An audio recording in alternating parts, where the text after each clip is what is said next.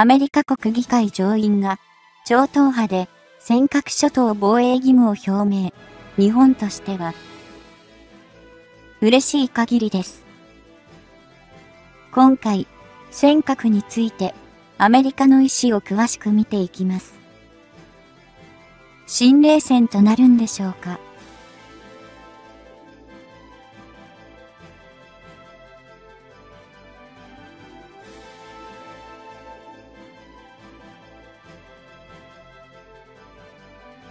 2021年4月8日、米国議会上院外交委員会は、国際法をねじ曲げ露骨な、海洋進出を企てる中国に対し、超党派で戦略的競争法を取りまとめて、今後同委員会で審議することを明らかにした。280ページにも及ぶこの法案は、今後、米国政府がどのように中国と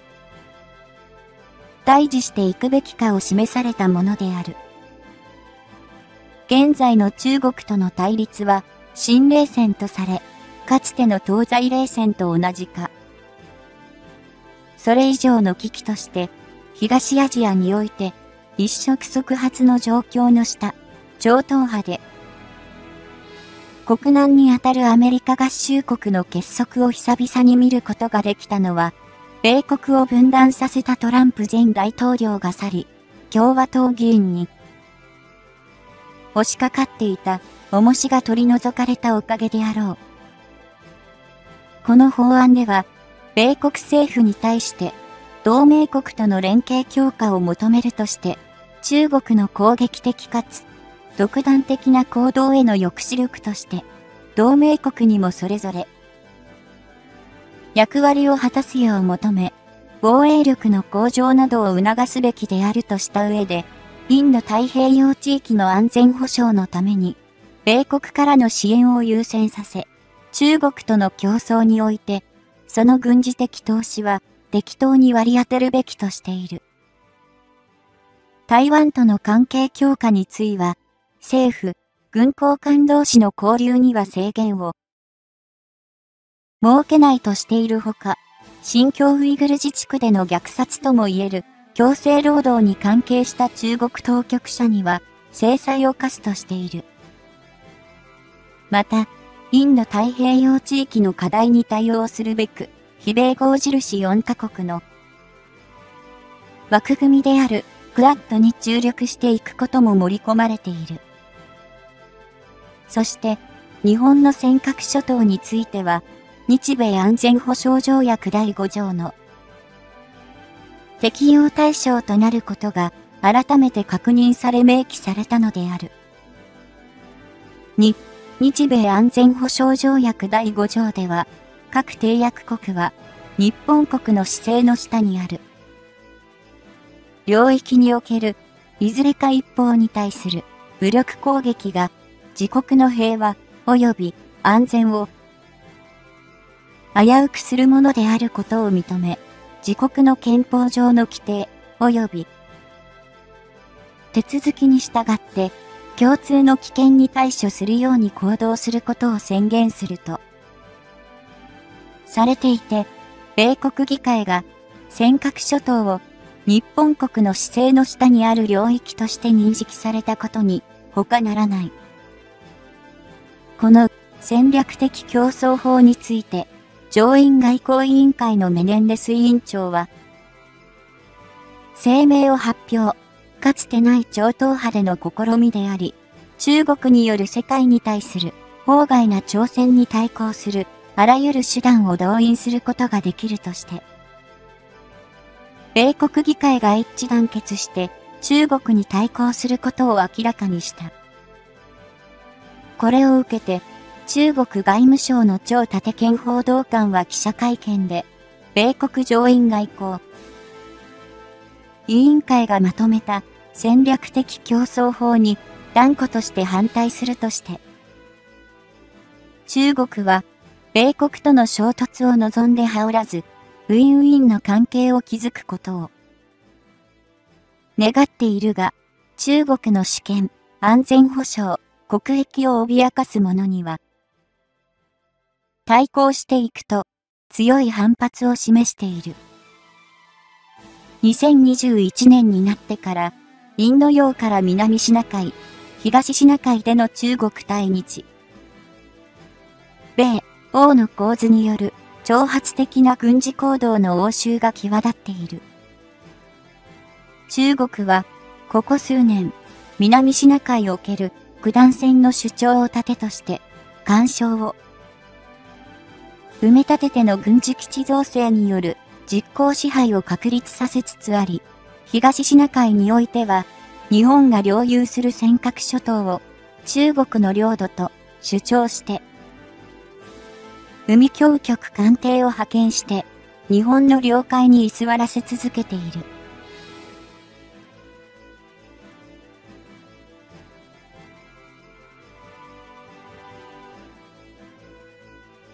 さらには、台湾への侵攻を思わせるかのように、これまで超えることが、ほとんどなかった台湾海峡上の中間線を越え、多数機による、台湾防空識別圏 ADIZ へ侵入を繰り返している。これらの中国軍の動きに対して、米国は第7艦隊所属の駆逐艦による航行の自由作戦を台湾海峡や南シナ海において展開し、南シナ海に断続的に空母打撃群を派遣して軍事訓練や演習を実施してきた。そんな状況下に中国は4月5日空母遼寧以下6隻の艦隊を沖縄本島と宮古島の間にある宮古海峡の通過と太平洋に進出させ、台湾周辺で訓練を実施したことを発表した。この軍事行動には、台湾近海や南シナ海に展開する米海軍を牽制する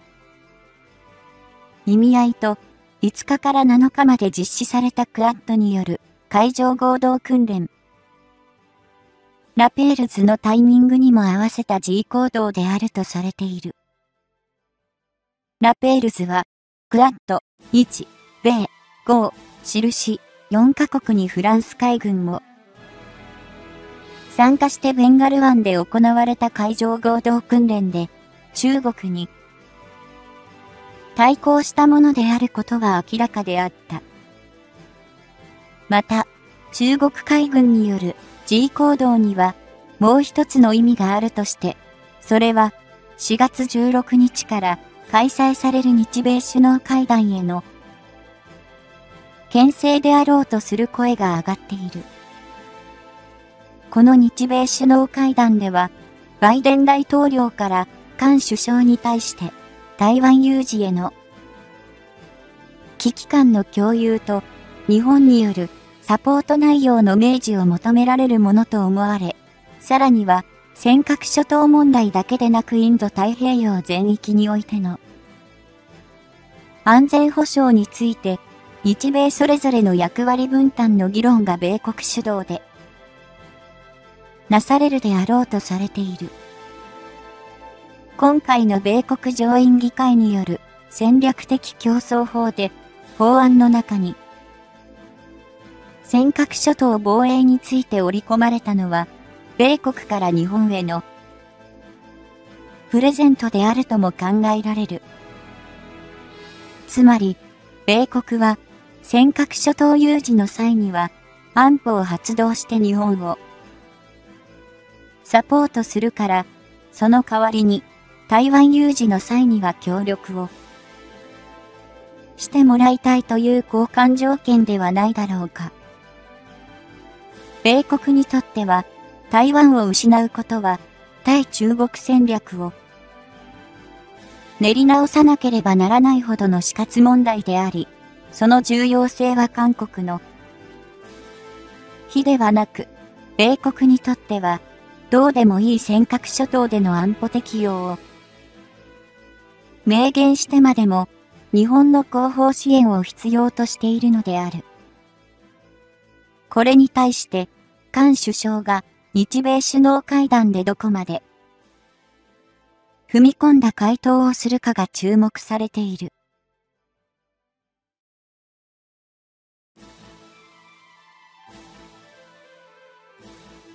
菅政権の主要政策である2050年カーボンニュートラルの実現に際しては排ガスを出さない電気自動車の開発と普及が必要不可欠であるが、この電気自動車の性能向上と量産化のためには、レアアースを確保し備蓄することが重要であるが、その主な輸入先は、中国である。中国に代わる調達先が見つからない限り、現状以上に中国との関係を悪化させるわけにはいかないのが菅政権の本音であろうし、日本国内企業と中国市場とのこれまでの結びつきを考えるならば、露骨に中国と対抗することができない弱みがある。また、対中国において、バイデン政権と完全にと同調するためには、自民党内で力を持つ二階氏を筆頭とする新中国派からの突き上げを、抑え込まなければならず、果たして、菅首相がそれを抑え込むことが、できるのかということには疑問符がつく。先の中国空母艦隊は、未だ台湾近海での訓練を続けているものと、想定されている中、9日に、米海軍は空母、セオドア・ルーズベルトの空母打撃軍が南シナ海で軍事演習を行ったと発表した。米中の空母艦隊が至近距離で演習や訓練を行っているこの状況は何らかの齟齬があれば戦闘が発生しかねない危険さをはらんでいる。今日この瞬間にも、米中の衝突が発生するかもしれない中で、菅政権は、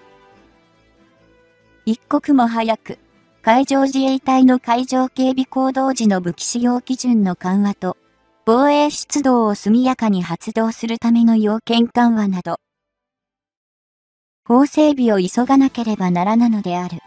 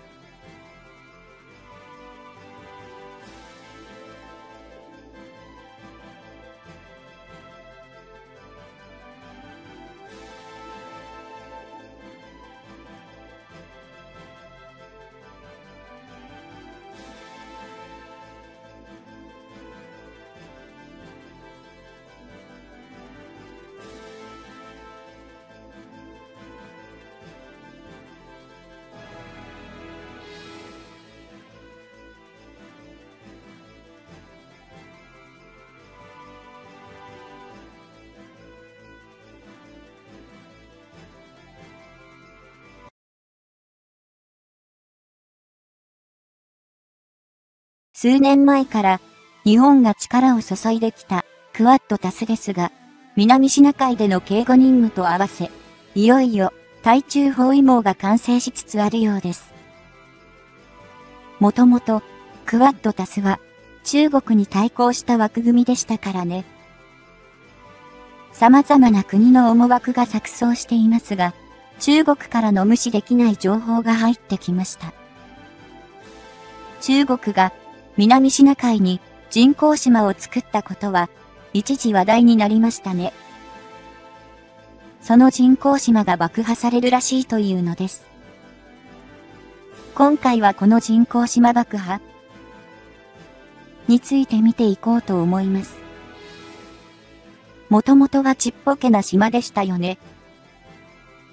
でも、今では小さな国の面積になってませんか？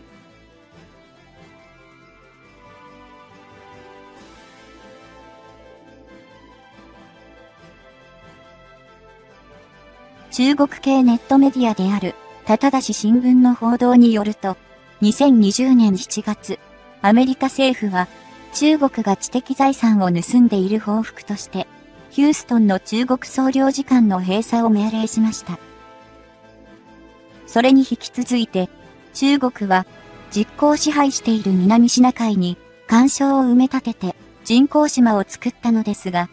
そこを奇襲攻撃して消滅させる可能性が高いというのです。世界地図を見て、お分かりの通り、南シナ海は海運による物流量が世界の4分の1を占めるほどの海運物流の要所です。日本においても、中東からの原油輸入における重要なシーレーンなのです。ここ数年、この南シナ海において、中国が20世紀初頭に自国内で定めたとする九段線の地図を根拠として、水域の8割に領有権があると主張し始めました。それに基づいて干渉を埋め立てて人工島を造成した上に軍事基地を建設したりして周辺諸国との間で摩擦を広げる一因としています。中国の行動に対し、アメリカは中国による南シナ海の領有権宣言は認められないとして、中国が領有を主張している当初12海里内にイージス駆逐艦を航行させるという航行の自由作戦を展開しました。アメリカ一国だけでなく、オーストラリア海軍などにも参加を促し、南シナ海での中国の海洋権益を認めない姿勢を見せています。アメリカのポンペオ国務長官も、中国は、恐喝に等しい行動によって、南シナ海周辺諸国の海洋主権を侵害しているとの声明を出し、強く非難しました。ここで、九段線について説明します。九段線とは別名有事線、牛舌線とも呼ばれている海上のラインです。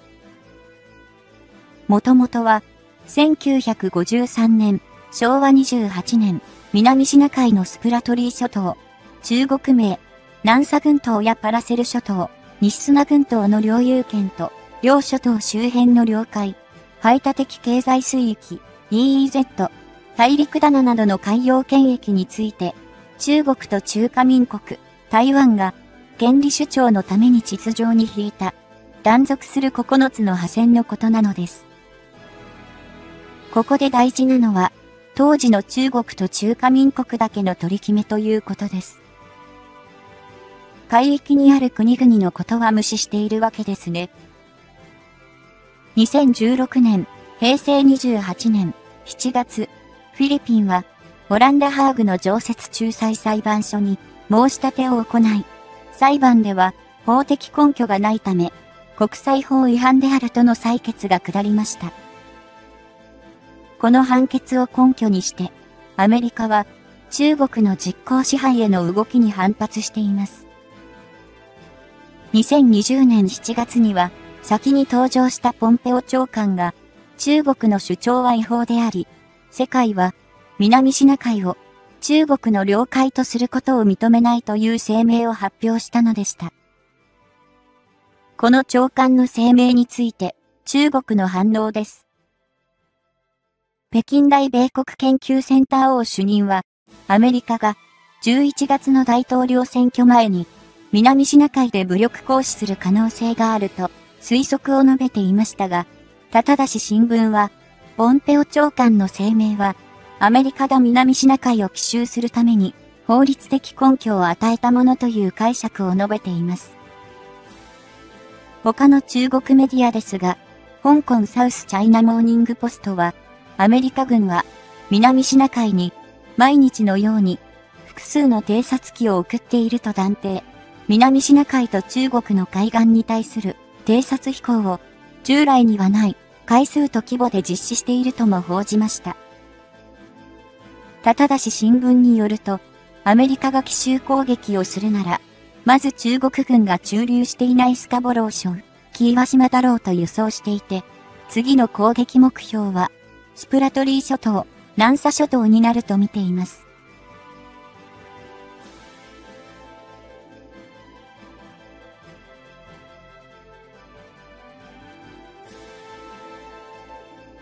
さらに、中国が軍事施設、滑走路とかを建設しているファイアリークロスショー、英書ショミスチーフショ、ビズミショウスビショ、渚壁ショなども攻撃して破壊。周辺の暗礁もミサイルなどで破壊するだろうとも予想しているようです。最終的には中国が実効支配している干渉だけでなく、他の国が領有権を主張している暗礁なども含めて戦略爆撃機を使って爆撃し、すべてを消して南シナ海の領有権主張紛争を一気に解決するという推理を述べているのです。血で血を洗う喧嘩が止められないなら、原因を消してしまえば、喧嘩の理由がなくなるから、すべて解決だろうアメリカは、そう考えていると、中国が推理しているということですね。そんな単純なものではありませんし、アメリカが恨まれるだけでしょう。こういった報道に対し、北京外交筋は、奇襲攻撃前に、まずは、アメリカから南シナ海の人工島に建設した軍事施設の撤去要求があるはずだという見方をしています。万が一攻撃があるとすれば、アメリカの撤去要求を中国が拒否した場合だろうとも語っているのです。その後の展開ですが、結局、アメリカの大統領選挙前に、アメリカ軍の攻撃への動きはほとんど見られませんでした。あるとすれば、空母2隻を南シナ海に派遣したくらいのものですから、たただし新聞のアメリカ中国海戦予想は外れたということになります。アメリカ密る両選挙の結果としては、共和党のトランプ政権から民主党のバイデン政権に移行中ですから、内政で手一杯のアメリカはしばらくの間、中国への動きを見せることはないと思われます。しかし、南シナ海は無視できない豊かな海域です。漁獲量豊富な漁場があり、海底には石油、天然ガス資源が期待できるだけでなく、前述のように重要なシーレーンでもあるのです。だからこそ、ベトナム、フィリピン、マレーシア、インドネシア、ブルネイなどの国々と中国との対立はこの先も収まることはなく、いずれは、代理戦争としてのアメリカ VS 中国の構図が、より鮮明になってくるのではないかと考えられるのです。九段線をめぐるアメリカ以外の動きですが、中国が自国パスポートの地図に九段線を書き入れたことに反発したベトナムとフィリピンは、パスポートの詐称欄へのスタンプ捺印を拒否、パスポートの地図デザインの変更を強く主張しているそうです。インドは中国との国境係争地域をインド領にしたデザインの詐称スタンプを作成。中国のパスポートの球団線の上に押すなどして抗議しているといいます。インドネシアは外務大臣が、九段線は絶対認めらない。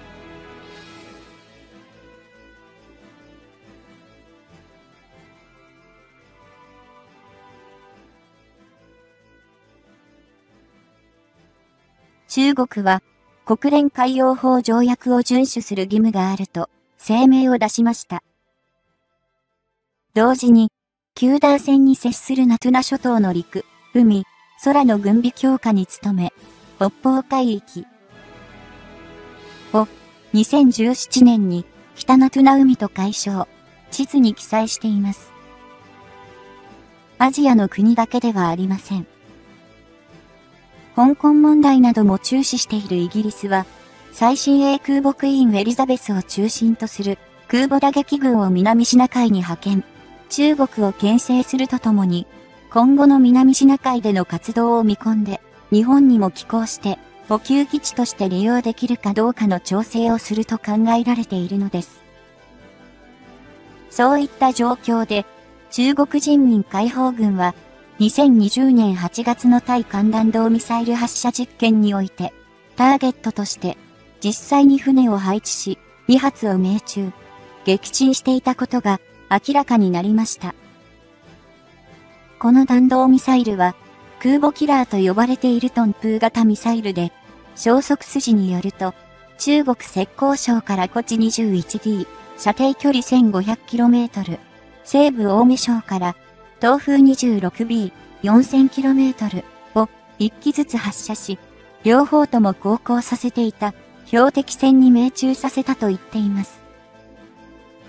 この古地は移動式発射台を使用する弾道ミサイルで、中国大陸沿岸のすべての場所から発射可能であり、発射前の探知は非常に困難なので、着弾前の撃墜は難しいと見られています。この弾道ミサイルでの船舶攻撃実験は、南シナ海有事に展開されると予想されるアメリカ空母やイギリス空母に対して、東風での攻撃が可能ということを見せつけました。アメリカやイギリスにとっては、かなりの脅威になると思われます。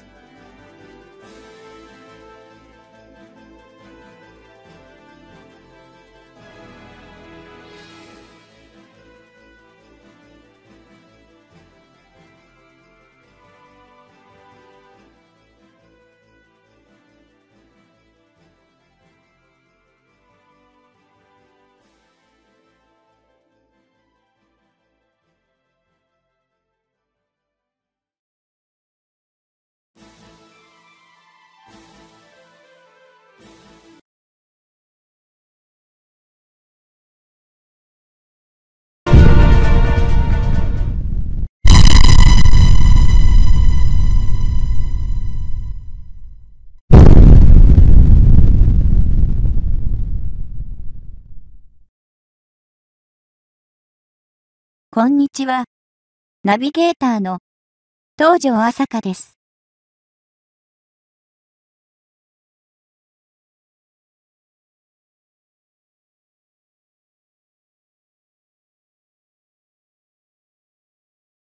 海上自衛隊潜水艦がどんな任務についているのかご存知だろうか。日々、日本領海内を防衛任務についている。そんな極秘だらけの日本潜水艦情報をキャッチ。今回は海底での領海内を侵入した中国原子力潜水艦を例に挙げて詳しく話していきますね。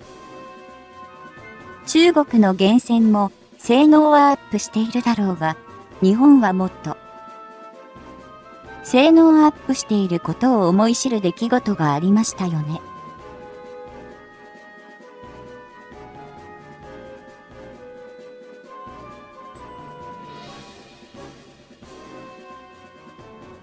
日本の潜水艦テクノロジーと中国の潜水艦のそれの格差は異次元レベルに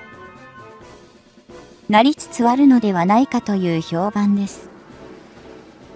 まず、日本の潜水艦は敵に音を探られない静粛性にかけては世界でも有数の高性能を誇ります。ということは最大にして最高の武器を保有しているということになります。これに対する中国潜水艦ですが、通常動力型潜水艦は爆音を立てるし、原子力潜水艦に関しても凄まじい騒音とか、潜水艦に必須の性能、それも優れたを有する海事の潜水艦。大きな音を立てて後悔する中国潜水艦は、まさに、さあ見つけてくれと、言っているようなものです。なので発見するのも至って簡単。はっきり言って、朝飯前の仕事。海中のどこに潜んでいるのかも、すぐに、判明できると言います。万が一、中国潜水艦が日本海域に、侵入しようものなら、海事は、即防衛任務に取り掛かり、対応することになります。瞬時に対応すると言って良い海地相手というのは、中国にとっても最も、敵にしたくないと考えるのではないでしょうか。今回は、そんな中国原子力潜水艦の話題です。4年前の2018年、年の初めに、発生した事件がありました。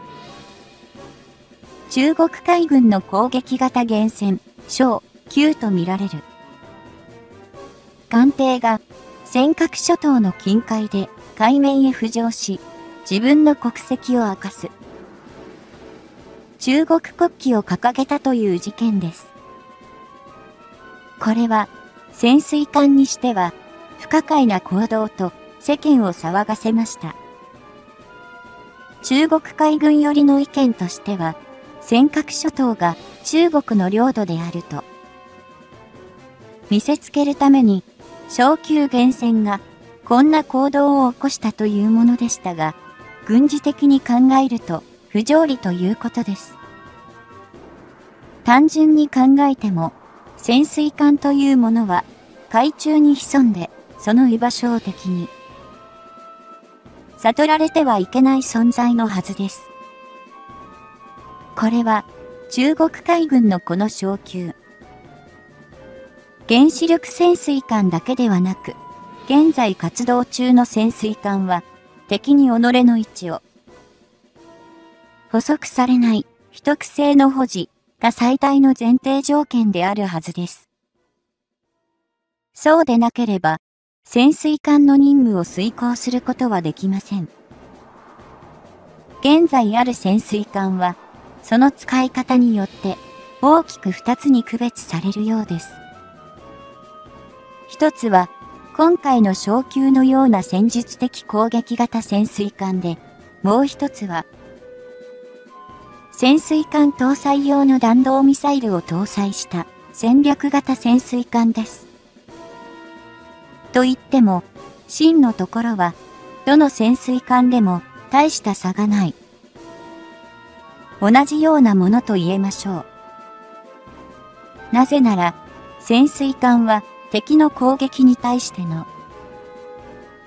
防御力が高いとは決して言えない兵器です。つまり、居場所を特定されてしまったら、水中に潜んでいる優位性をなくすことになり、敵の攻撃を受けたら行動を封じ込められてしまうことになるからです。香港のマスコミでさえ、小級潜水艦は海上自衛隊に位置がバレてしまったが、それに気がつかず、尖閣諸島の近海へ侵入してしまった。しかし、海事の必要な追尾に逃走を諦め、浮上しなければならない羽目になったと指摘しました。この小級原子力潜水艦の初言ですが、全長 107m、幅 11m、潜水艦の大きさを表す排水量は6、000から7、000トンで、2006年、平成18年頃から収益が始まった艦ということです。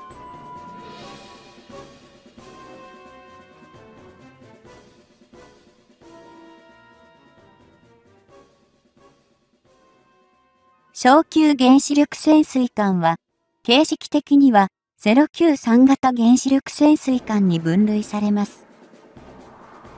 091型艦旧原子力潜水艦に続いて、中国海軍が建造した国産2番目の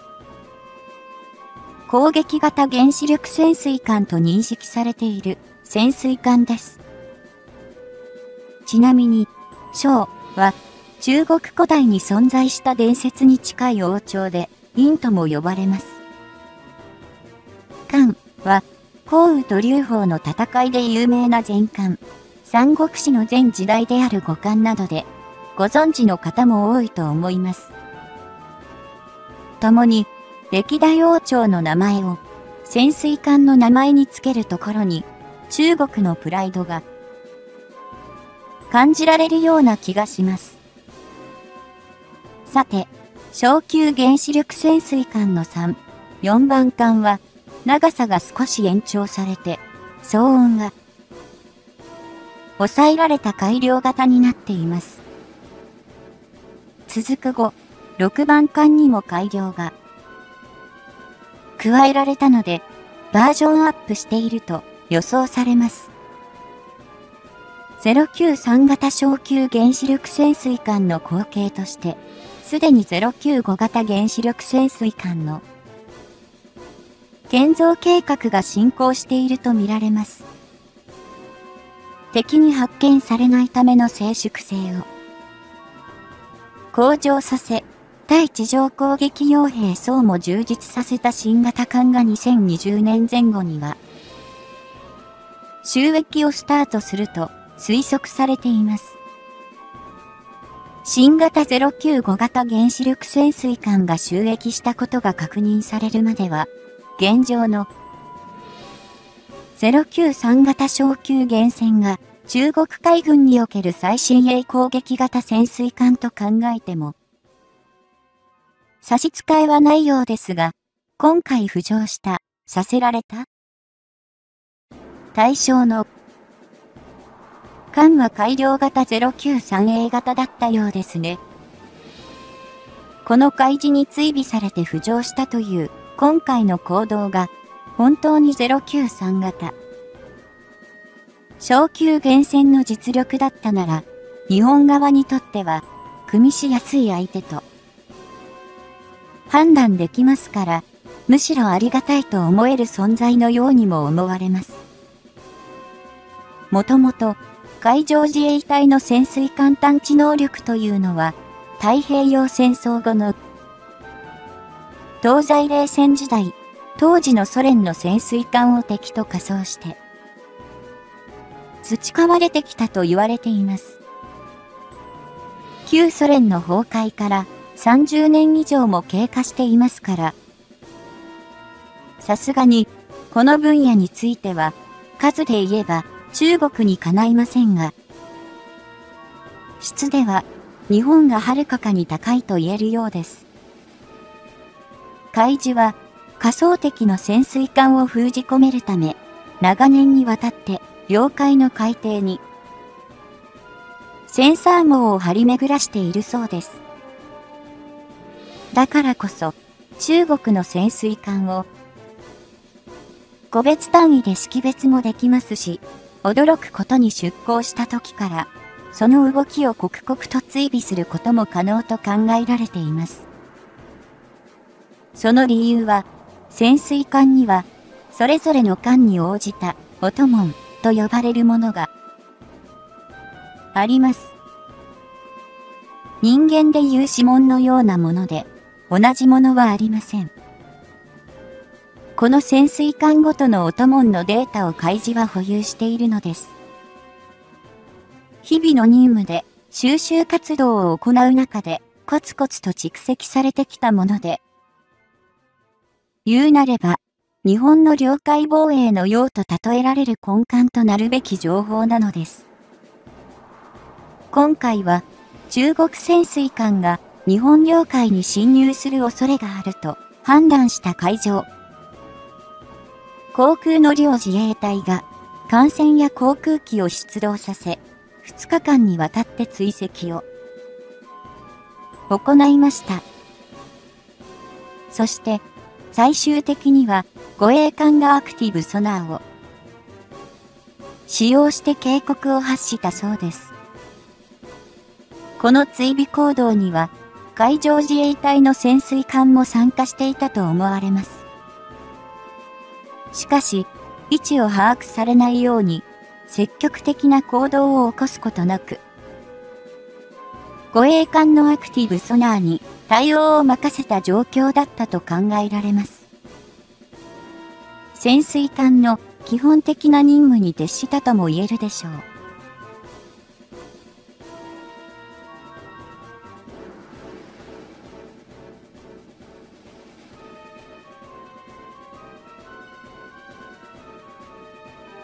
このような観点から見ると、いざとなったら、海自潜水艦が当該源泉を沈めてもおかしくなかったのではないかという意見もあるようですが、ちょっと飛躍しすぎていると思われます。中国海軍がどんなに挑発的行動をしてこようと、自衛隊は実際の武力行使に及ぶことはありえません。それに至るには政治的なハードルが高すぎますし、撃沈という事態になってしまったら、平和憲法下の日本は、国際的にも非常に難しい立場に陥ることになるでしょう。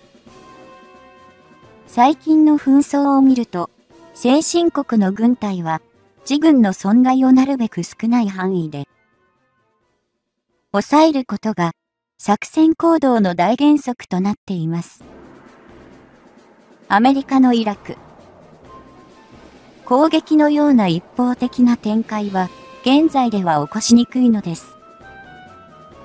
アメリカほどの超大国でも国際的非難にさらされることはなるべく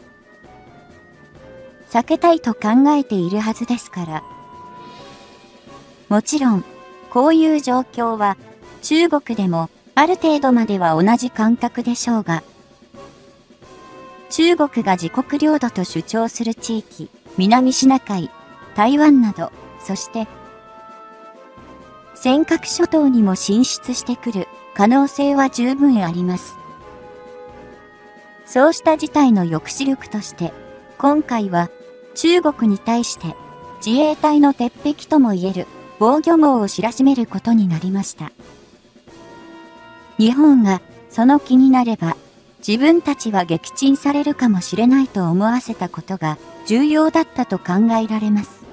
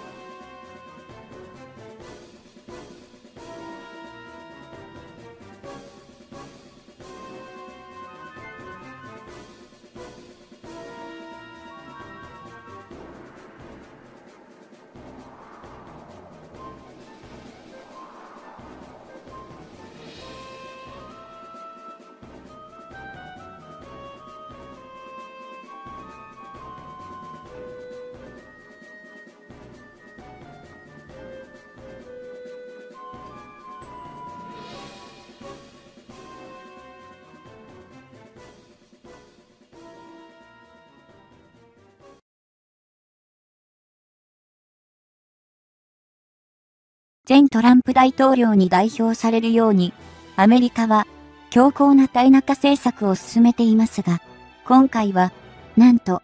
大統領選挙中に中国へ警告とも思われる行動を起こしました。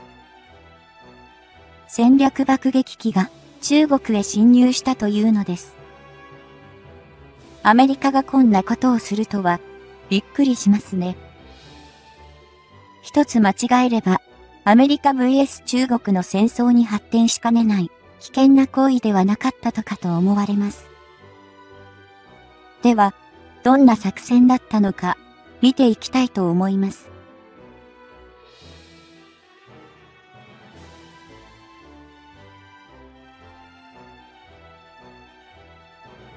香港メディアのサウスチャイナモーニングポストは2020年11月27日アメリカ空軍の B-1B 戦略爆撃機2機が中国の防空識別圏に侵入したと報じました。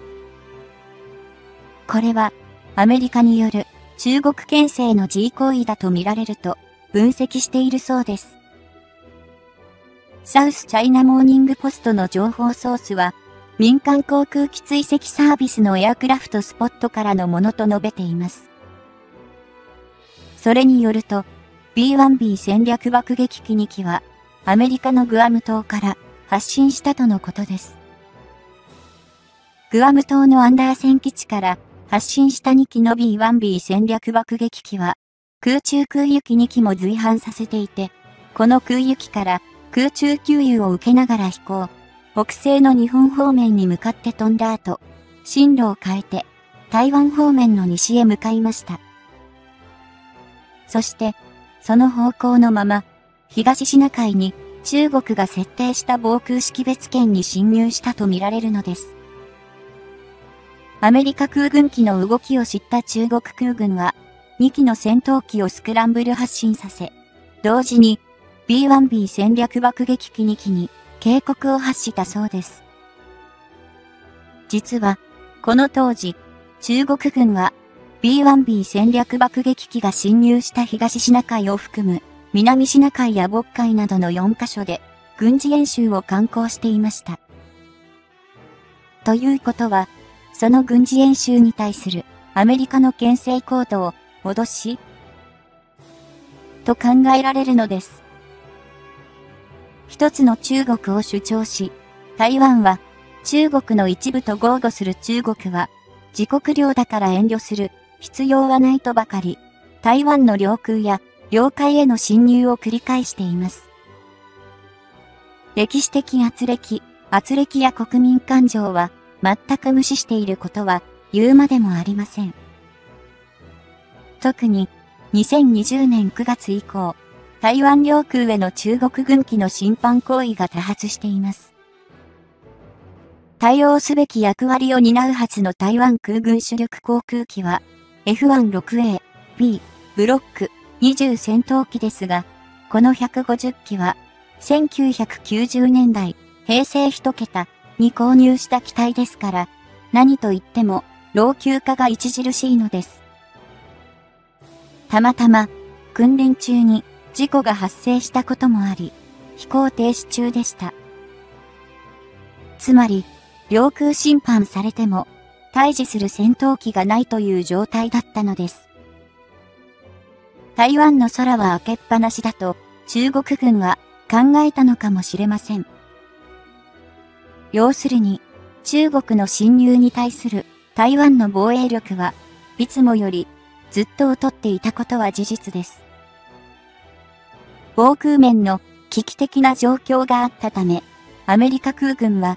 B1B 戦略爆撃機2機を中国の防空識別圏へ侵入させたと推理されているのです。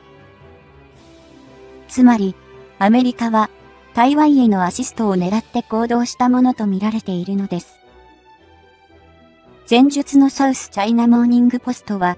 爆撃機の中国防空識別圏への侵入に対して、アメリカが B1B 戦略爆撃機ほどの大型軍用機をこのように飛行させることは滅多にないことで、逆に言えば、今回の行動は、かなり直接的な中国への警告ではないかと推察しているそうです。アメリカが中国を無視できないという証拠のようなものでしょうね。それほど、中国の存在が大きくなっているということでもあるのでしょう。経済力のある国を世界は無視できないですからね。それは、平成バブル時代の日本も同じだったはずです。ここで、改めて B1B 戦略爆撃機について紹介しましょう。B1B 戦略爆撃機は、1970年代、昭和45年から54年、2級ロックウェル社が開発した戦略爆撃機です。現在は、ロックウェル社を吸収したボーイング社が供給していますが、大型爆撃機としては、珍しい可変翼を持つ機体ということで知られているそうです。この機体は、4機が、最初に試作機 B1A として製造されました。今回の B1B は、その改良、量産型として登場し、1986年、昭和61年に実戦配備されました。それ以降、現在までに100機が収益しました。登場時は東西冷戦の最中だったので、かなり稼働したようですが、1991年、平成3年に旧ソ連が崩壊し、実質的に冷戦構造が終了したこともあって、この B1B は現在でも現役バリバリで活躍中とのことです。B1B 戦略爆撃機の各データですが、乗員4名、全長44.81メートル、全幅最大41.67メートル、最小幅23.84メートル、全高10.36メートルであり、エンジンターボファンが4機、爆弾搭載量については、機内分が34.02トン、機外分は26.7トンという大きな数値を誇っています。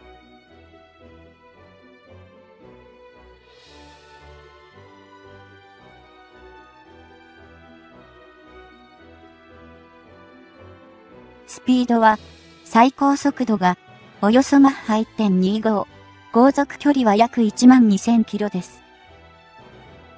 胴体内には、3つのウェポンウェイ、兵装があって、自由落下式の無誘導爆弾から、精密誘導爆弾、各種巡航ミサイルまで運用可能という、優れた機体とされています。この B1B 戦略爆撃機の実戦経歴を紹介しますね。2001年、平成13年のアフガニスタン紛争をはじめとして、2003年、平成15年のイラク戦争、2011年、平成23年のリビア内戦、2015年、平成27年と2018年、平成30年のシリア内戦など、主に中東方面での実戦投入経験が豊富ということがお分かりでしょう。とはいうものの、当時の冷戦終結という時代背景もあって、1994年、平成6年には、第二次戦略兵器削減条約、スタート2の制限対象になったので、現在配備されている機体すべてには、核兵器運用能力がないそうです。核兵器をこの B1B 爆撃機には積めないということですね。実は、この B1B 戦略爆撃機は、航空自衛隊も F15J イーグル戦闘機へ搭載するために調達を進めているジャスムやルラスム等の巡航ミサイルも運用できるということです。つまり、空対地、空対艦攻撃に使える機体ということなのです。こうなると核兵器が載せられないという前提なのが日本には幸いですね。比較三原則はまだ有効なはずですから。ジャズムは正確にはジャスマーで、マックス射程距離は約925キロにも及んで、空対地攻撃が可能という高スペックなミサイルと言われます。防衛省に言わせると、敵の射程距離外から攻撃できるスタンドオフミサイルであるという認識らしいです。そして、ロラズムは、空対地巡航ミサイルのジャスマーを土台として空対艦巡航ミサイルへ発展させたミサイルで、ジャ、スマー同様、敵艦に向けたスタンドオフミサイルとみなすことができると言えましょう。なお、ジャ、スマーは、2016年、平成28年から、より、一層射程距離を伸ばし、2倍以上の約 1900km まで延伸した新型のジャスマー開発も進めています。このミサイルは、いずれ日本でも購入することになるだろうと見られているようです。ただし、こういった、ジャズ、ム、K の巡航ミサイルは、射程距離の延伸は確実に進んではいるのですが、ネックがあるそうです。それがスピードで、速度そのものは、依然として青族の巡航ミサイルですから、そのスピードのせいで敵から迎撃されて落とされる可能性があると思われているのです。